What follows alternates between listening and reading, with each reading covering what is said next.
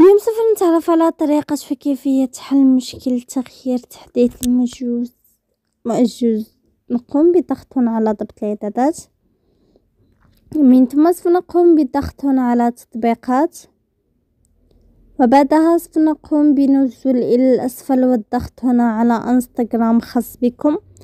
ثم سوف نقوم بالضغط هنا على إيقاف الإجباري. بعدها سوف نقوم بالضغط هنا على الموافقة. من ثم سوف نقوم بالضغط هنا على مكان التخزين بعدها سوف نقوم بالضغط هنا على مسح تخزين مؤقت ثم سوف نقوم بإيقاف وإعادة تشغيل واي فاي خاص بكم بعدها سوف نقوم بالذهاب إلى متجر جوجل هنا سوف نقوم بالبحث عن انستغرام خاص بكم سوف يظهرنا على هذا الشكل وعندما تجدون هنا تحديد قم بضغط عليه وسيتم تحديد تطبيقكم انستغرام هكذا نكون قد قمنا